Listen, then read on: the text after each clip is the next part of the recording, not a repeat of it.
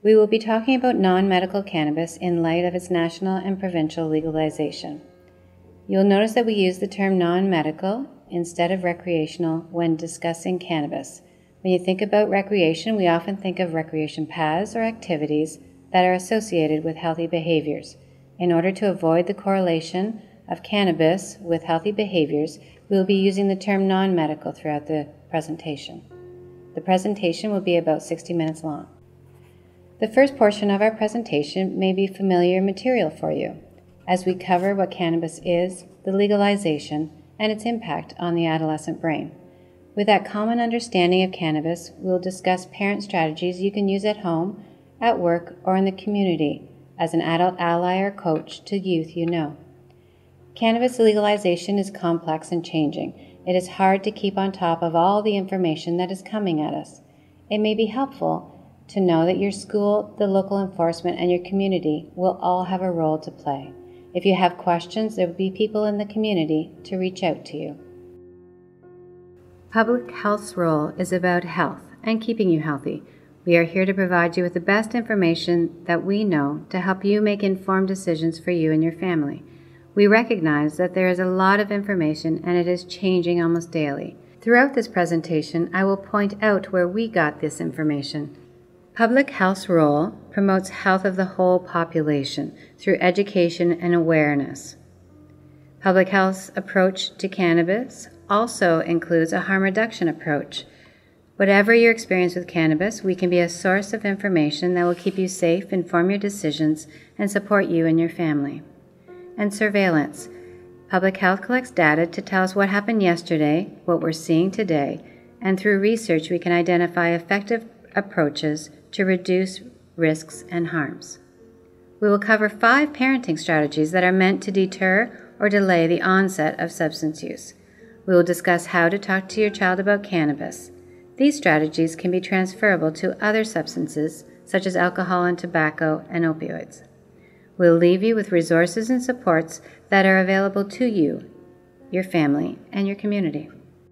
After alcohol, cannabis is the most commonly used psychoactive drug in Canada. Cannabis, also known as marijuana, is a product of the plant Cannabis sativa. It has other names such as Mary Jane, grass, weed, and smoke. Cannabis consists of dried flowers, fruiting tops, and leaves, and is commonly greenish or brown in color. The main active chemical in cannabis is THC, or tetrahydrocannabinol. THC is a mind altering psychoactive chemical that gives a euphoria or high to those who use it. Another active chemical in cannabis is CBD, or cannabidiol. This is used for medical purposes and is presently being studied. It does not have psychoactive properties. CBD and THC usually come in a ratio to each other. The higher THC content, the higher effects, and related health risks. There are different ways to use cannabis. They include smoking as a cigarette, joint, or blunt, vaporized in a pipe, bong, or e cigarette called vaping, mixed in a drink or food called edibles, and consumed as a cannabis tincture, an alcohol based extract, or added to food or drink. Heated and inhaled, called dabbing, as oil or in a form called shatter, that is made from cannabis resin or hash. This form contains high levels of THC. Synthetic cannabinoids, sometimes called K2 or spice, are a relatively new class of products. Synthetics are a large group of chemicals that mimic the cannabinoids found in the plant. They generally have severe psychoactive impacts and health risks and should be avoided. The chemical contents of synthetic cannabinoid products are unknown, untested, and its potency differs between brands. This inconsistency, as well as the limited research on the product, makes it difficult to predict the long and short term health harms. The method of consumption is important to consider for their unique risks. When cannabis is smoked or vaporized, the effects begin right away and last at least six hours. The effects of edibles may begin between 30 minutes and two hours after taking them, and can last 12 hours or longer. Although edibles don't pose a health risk to lungs and respiratory system as smoking does, it can take longer for the THC effects to be noticed and can increase the risk for overconsumption, which intensifies the effects, putting someone at risk for poisoning or other injuries. Risk for injuries and accidents can happen as a result of the THC affecting your coordination, reaction time, and ability to judge distances. Cannabis can make some people feel relaxed and happy, but it can also have less desirable effects, causing confusion, drowsiness, forgetfulness, panic, delusions, and distorted perceptions. Some other short term effects on the body include increased heart rate and decreased blood pressure. All of these physical and short term effects can have a negative impact on your activities of daily living, including academics, work, sports, and the ability to drive safely. Long term effects develop gradually over time with frequent use that continues over weeks, months, or years. These effects can last several days to months or longer after you stop using cannabis. Long term effects of cannabis can include addiction or cannabis use dependence, effects on the brain, memory, concentration, intelligence, effects on mental health, including anxiety, depression, psychosis, and effects on the physical health, respiratory, reproduction, and cardiovascular. The Federal Cannabis Act has created a strict legal framework for controlling the production, supply, distribution, sale, possession, advertising, and packaging of cannabis in Canada. The goal of this new law will help better prevent youth from accessing cannabis, displace the illegal cannabis market, and protect public health and safety with product quality and safety requirements for cannabis and road safety. The proposed act includes restrictions on several types of promotional activities that may be considered appealing to youth, promotion that includes false, misleading, or deceptive information, promotion through sponsorship, testimonials, or endorsements, and restricts promotion using the depiction of persons, celebrities, characters, or animals. Plain packaging is a part of a comprehensive, effective approach to substance control and is a strategy that has been adopted by the federal government. Criminal charges and penalties will remain in effect as they are now with testing for impairment. Provincial territorial laws will determine what additional administrative penalties may be imposed on you. Maximum growth in a household is four plants, and it will continue to be illegal to take cannabis over an international border. Under this broad federal act, the provinces have the responsibility of setting further limits, such as how retail sale will look, legal age, public consumption, and impaired driving. On October 17th, when the non medical use of cannabis legalization occurs, Ontarians will be able to buy non medical cannabis online through the Ontario Cannabis Store in the form of fresh, dried oil, and seeds. The government plans to pass legislation to put in place a private retail model for April 2019 where the Ontario Cannabis Store will continue to be the wholesaler of these retail stores.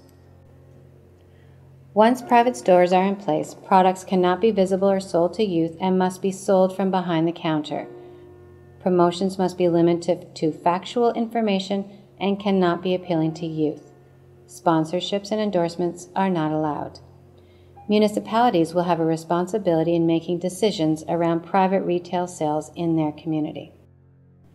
It is important to know the Ontario laws as they might affect some of the decisions you make. As an adult or a youth, it is much easier to make informed decisions when you have all the information. It is also important to remember that each province may differ in the laws that they have. The legal maximum age in Ontario after October 17, 2018, to purchase, use, possess, and grow cannabis will be 19 years of age. The maximum amount you can have on your person at any time is 30 grams.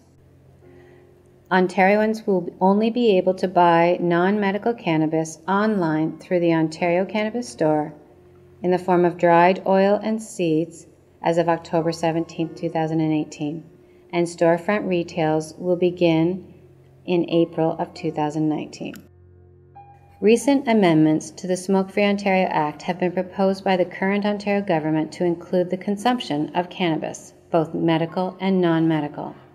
The recent amendments will prohibit the smoking of cannabis in the same places where the smoking of tobacco and the use of electronic cigarettes are prohibited.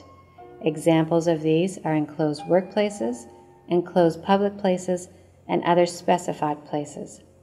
Schools and school grounds, children's playgrounds, and publicly owned sports fields are also areas where it will be prohibited to use non medical cannabis. Zero tolerance for young, under 21 years of age, novice, and commercial drivers, or those driving a road building machine. The Centre of Addictions and Mental Health created a Canadian lower risk cannabis use guideline resource. This provides science based recommendations to enable people to reduce their health risks associated with personal cannabis use. The messages range from abstinence to avoiding regular use, choice of products, less risky methods of consumption, and cannabis use in driving. This resource also highlights those who are at particularly higher risk for cannabis related harms, such as adolescents, pregnant women, or those with history or current mental health disorders. Surveillance is another role for public health. The 2017 Ontario Student Drug Use and Health Survey gives us a local summary of cannabis use indicators from grade 9 to 12 students who go to secondary school in Leeds, Grenville, and Lanark. In 2017, about 74% of students in grades 9 to 12 in LGL reported that they did not use cannabis in the last 12 months prior to the survey. In earlier data, the Ontario Student Drug Use and Health Survey showed that self reported use of cannabis increases from grade 9, where almost 22% reported use, to grade 12, where almost 60% reported use. Of those students who reported that they used cannabis in the 12 months prior to the survey, about 70% reported using it less than 10 times. When asked if they would have difficulty quitting use of cannabis, 97% of current cannabis users responded that they would have no difficulty in quitting. Of those students who reported that they used cannabis in the 12 months prior to the survey, about 68% reported using it for the first time when in secondary school, so grades 9 to 12. A further 32% reported first using cannabis in elementary school, grades junior kindergarten to grade 8. The average age for initiation, or first use of cannabis, was about 15 years old. In 2017, half of students surveyed reported that they thought that obtaining cannabis was easy to do. So, what do these numbers tell us? We know that most teens are trying cannabis for the first time in secondary school. However, a third of students try in primary school. This speaks to the importance of talking to your teens about cannabis and all substances as early as possible. As parents and adult allies, we can help teens make informed decisions by giving them the information and strategies they need to navigate their world and problem solve today, and in their future.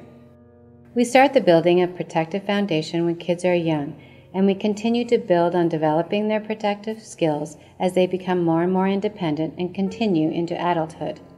When our children start school at age 3 or 4, we teach them safety skills to ride the bus and cross the road. And as youth get older, the exposure to risk increases and strategies our teens use will change as they developmentally mature. Parenting along these developmental milestones continues to be important as our teens transition from elementary school through to high school and beyond. We know that students have opinions and information about legalization, so you can start the conversation there. 40% of students surveyed thought legalization was a good idea, that legalization would lead to a better, regulated, safer cannabis. 10% of non users said that they would try it in the next 12 months if it were legalized. This suggests that legalization may increase usage among this cohort. It's important to know and have an understanding of what is motivating youth to use.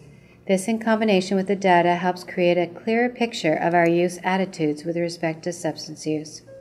The Canadian Centre for Substance Abuse surveyed youth across Canada.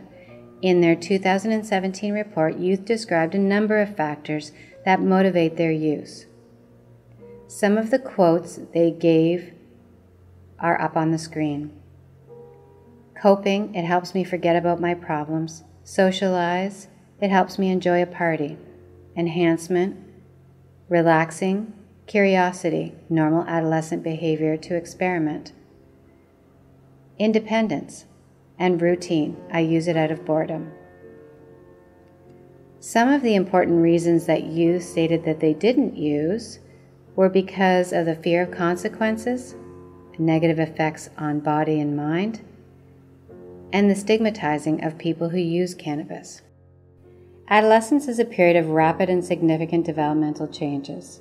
These changes include puberty, dating, expansion of peer groups, coping with multiple transitions or stress, and becoming more independent. These are changing times for youth. As challenging as the teen years can feel for parents, they can also be incredibly rewarding.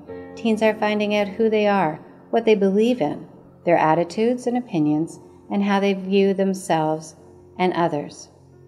You, as a parent or adult ally, can have a huge impact through this discovery. So let's dig a bit deeper and take a look at the facts about cannabis in the adolescent brain. What do we know? We know that cannabis is a chemical that is not naturally occurring in the body. We also know that adolescents are especially vulnerable to the negative effects of cannabis use because their brains are not fully developed yet. Use of substances during the teen years up to 25 years of age can cause long term irreversible damage to the frontal lobe. This can cause problems into adulthood with decision making, problem solving, dealing with emotions, and memory. The parts of the adolescent brain that develop first are those that control physical coordination emotion, and motivation. The prefrontal cortex, the part of the brain that controls reasoning and impulses, does not fully mature until around the age of 25. This normal behavior in adolescence includes difficulty holding back, a preference for high excitement, poor planning and judgment, and risk taking behavior. Receptors which respond to THC are widely distributed in the brain including areas that control attention, motivation, and memory. In the teen brain, development of these receptors is still going on, so when there is exposure to THC, the normal function of these receptors is hindered, and this causes chemical changes to the cells. Delaying use protects the developing brain and allows for normal development of the prefrontal cortex. There is a strong relationship between mental illness and early regular cannabis use, especially in those who have a personal or family history of mental illness. Regular cannabis use is associated with increased risk of anxiety and depression. Cannabis is also linked with psychosis, especially among people with personal and family history of mental health illness.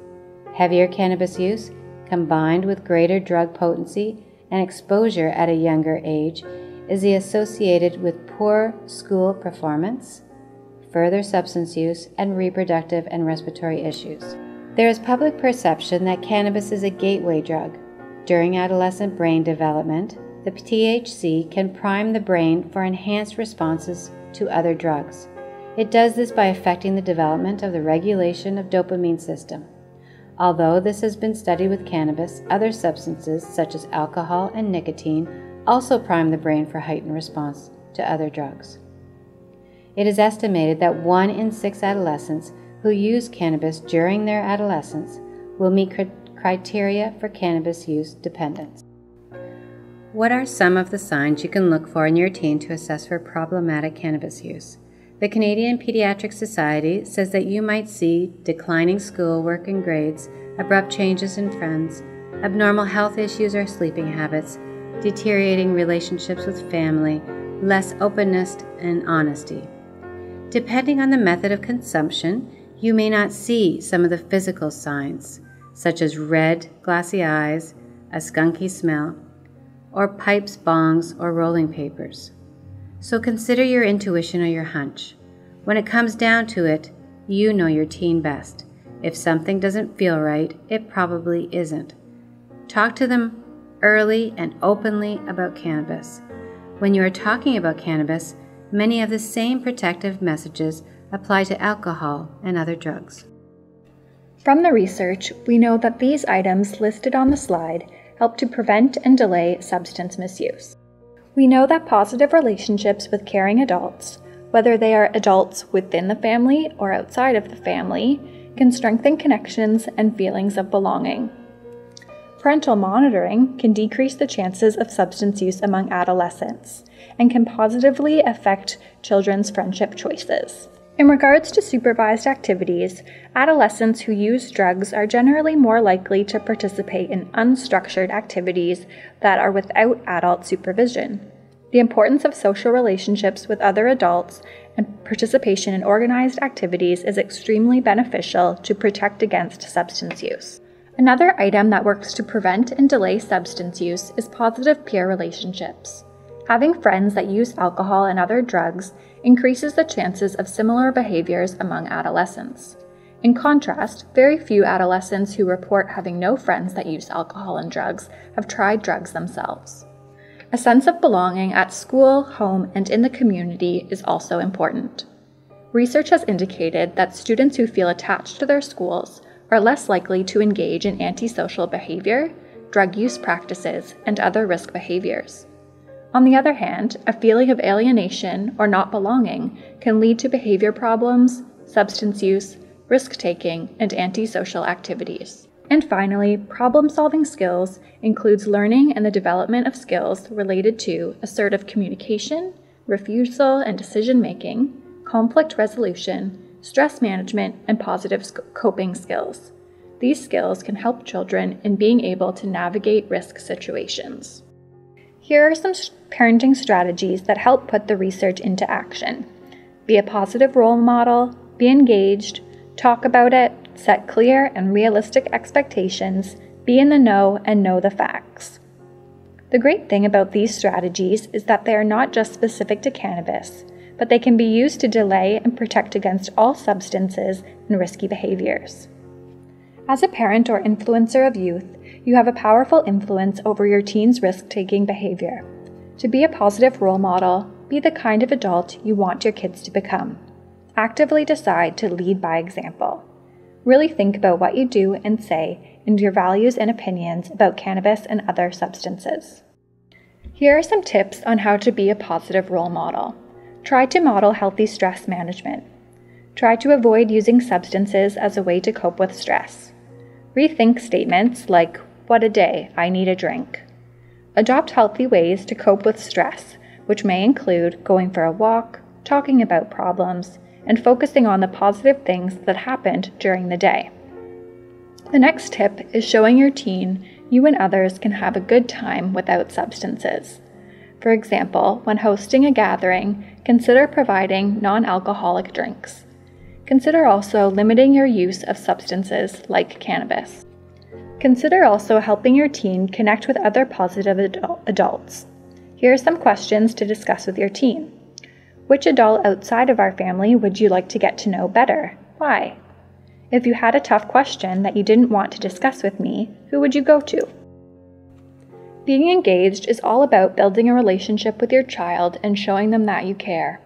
Maintaining parent child relationships can become more challenging during the teen years because they may be pushing us away and spending less time with us. Essentially, we may have fewer opportunities to connect with them. Feeling connection results in an increase in resiliency, which means having the tools to cope with stress. If young people are not connected, they will find other people or things to connect to, like technology, gaming, substances, or unhealthy relationships.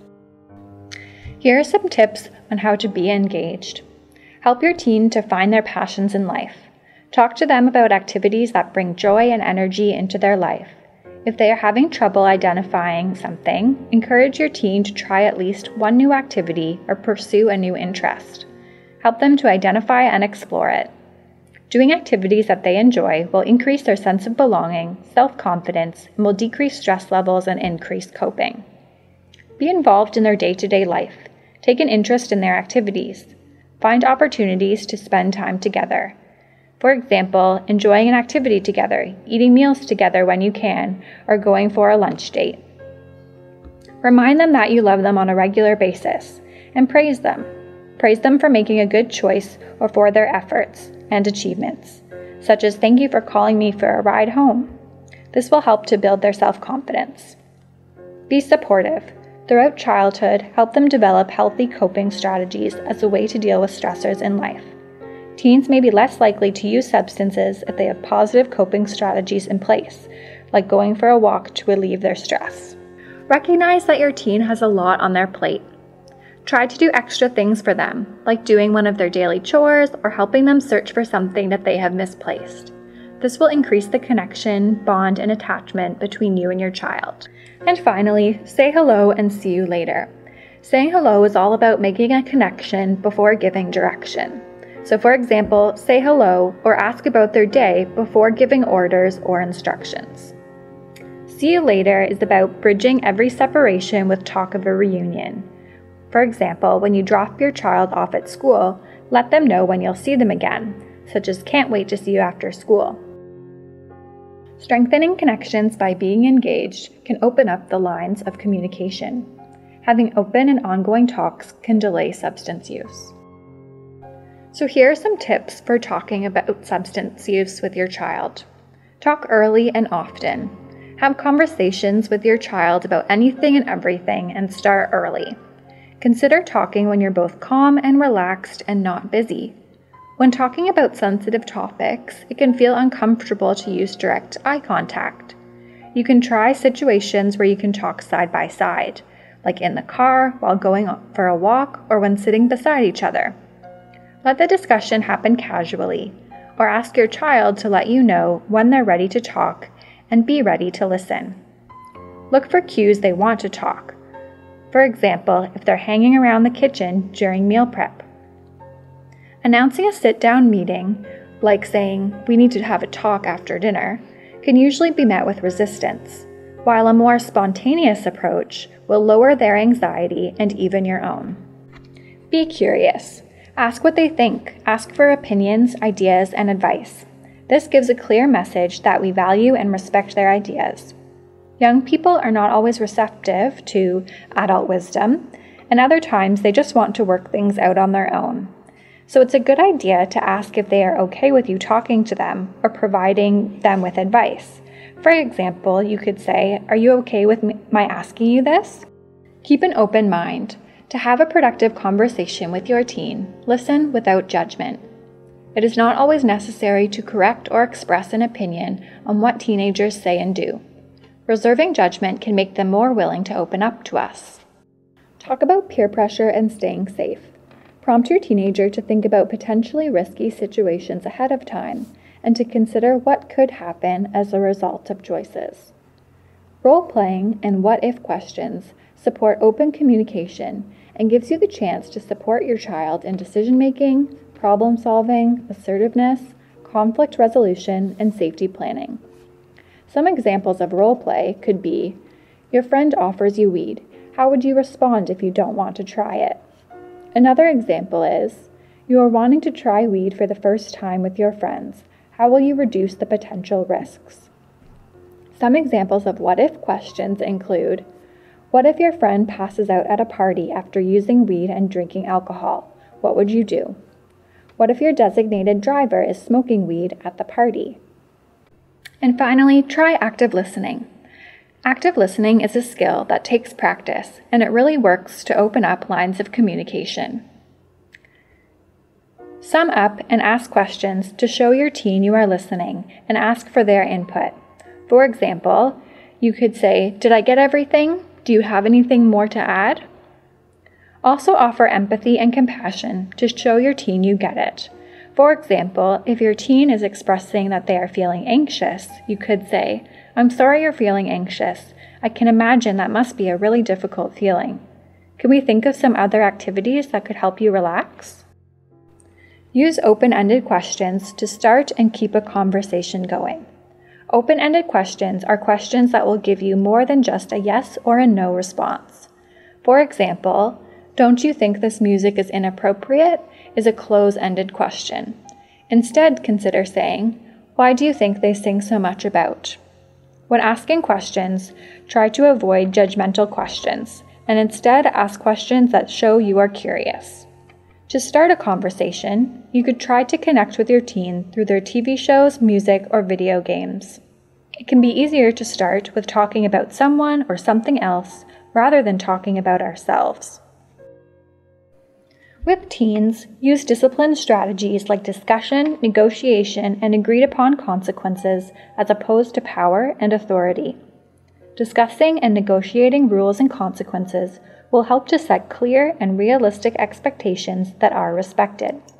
The key is to find the right balance between exerting authority when you need to and discussion and negotiating when it's appropriate and possible. Here are some tips on setting clear and realistic expectations. First, consider involving them in making decisions. Be flexible and let your teen have a say wherever possible. Give your teens the opportunity to contribute their ideas and have their opinions heard and valued.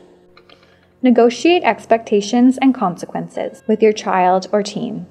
Ensure they are aware of the expectations and consequences and that they agree with them. Ideally, this can be done before your teen is exposed to a situation potentially involving substances. Base rules and consequences on the age and maturity of the teen. Make sure consequences are reflective of the rule that was broken. When rules are broken, this is the time when real learning happens. Go back to the expectations and consequences that you decided on with your child or teen. Be consistent with consequences and follow through with them. Sometimes teens need to know how we are feeling, like when we are worried, frustrated, angry, or disappointed. For example, if a rule is broken. Talk about how you feel rather than how they made you feel. This is less likely to make a teen defensive and will help them understand how we feel about specific behaviors and actions. Get help from others if the teen is consistently breaking the rules. Finally, be clear what is non negotiable. Be clear about your expectations that are not up for discussion or negotiation. You may be willing to negotiate a curfew time, for example, but be clear about your expectations that are not up for discussion. For example, these items that might be, not be up for discussion may include hurting or mistreating people, calling you at an agreed upon time, getting in a car with a driver who may be impaired, driving impaired, getting a ride with someone you do not know, staying overnight, depending on their age and maturity. If teens are going to use substances, they tend to do it when adults are not around. So it can be important to know where they are, who they are with, and what they are doing. Try to balance this parental monitoring with giving your teen independence and adjust as needed. To maintain balance as teens become older, allow for change and more independence help them to take on new responsibilities. So, here are some tips for being in the know. Get to know your child's friends and their parents. The more you know about their friends, the more you are likely to know about your own child and what is going on in their life. Parents also may need to talk to each other from time to time to make sure that activities are supervised. You can also try out these other tips, such as agreeing on a curfew, having your teen check in throughout the night, knowing how your teen is getting home, talking to your teen about qualities to look for in friends like honesty and respect, educating your teen on responsible use of social media. For example, talking to them about the potential consequences of posting images of substance use on social media. To prepare for conversations with your teen on substance, try to be prepared with the facts. Remember that it's okay to not know the answer to your teen's questions about cannabis. You can admit this and try to find the answer from a reliable source with your teen. So, here are some tips on knowing the facts. Consider continuing to seek out information on cannabis laws, the power of the media, and the common myths and facts on the substance. So, know the law. Cannabis will be, continue to be illegal for those under 19 in Ontario. Recall from earlier in the presentation that there will be other restrictions on the use of cannabis in addition to age limits, such as driving restrictions and permitted places of use.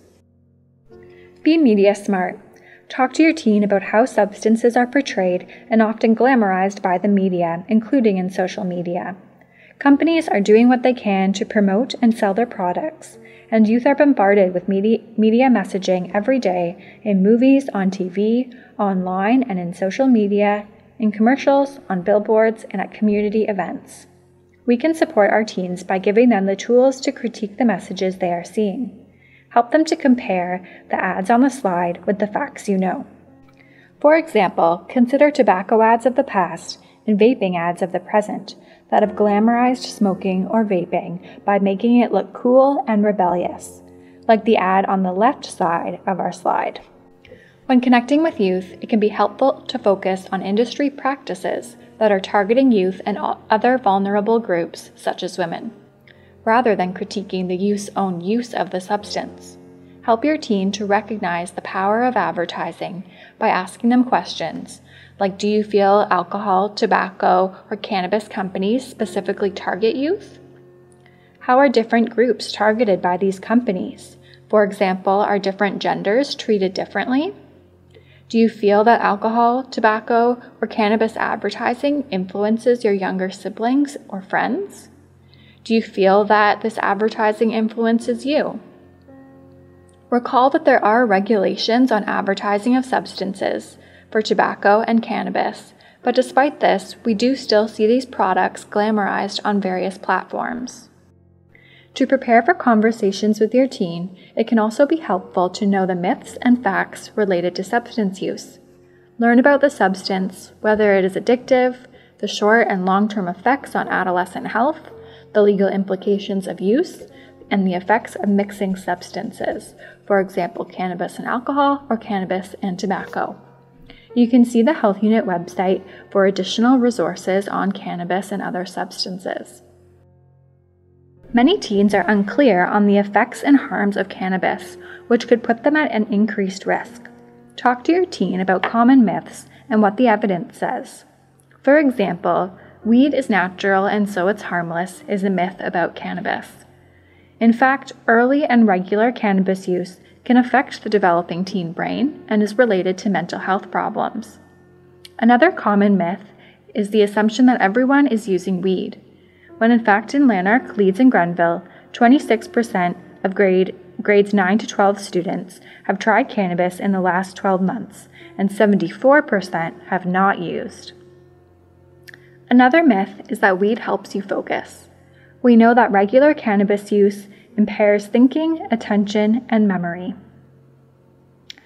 Weed is not addictive and does not consume users, is another myth when in fact one in six adolescents who use cannabis daily or nearly daily will develop a cannabis use disorder. The final myth is that weed makes you a better driver. It's safer than driving, after using alcohol. We know that cannabis use impairs the ability to drive and is linked with collisions. Many car crashes involving teenagers are caused by inexperience and errors in judgment. When these factors are combined with alcohol, cannabis, other drugs, or a combination, the risks are increased. Parents can start a conversation with their children about impaired driving. Many parents have had the conversation about impaired driving and alcohol, and it's important to include cannabis and other factors that can impair or distract while driving in these conversations. Only 11% of parents surveyed said they had discussed the risks of driving under the influence of cannabis with their teenagers. This actually dropped to 4% when teens themselves were asked whether they had discussed impaired driving with their parents. What parents can do is develop a plan with their teen for how they can uh, get home safely. For example, calling for a ride home, taking a taxi, or arranging for a designated driver. Teens can also use public transportation and rideshare services when available. In summary, here are the strategies that we have talked about. Be a positive role model, be engaged, talk about it, set clear and realistic expectations, be in the know, and know the facts. We all have hard days and make mistakes when using these strategies. If it doesn't always go as planned, don't get discouraged. Try again.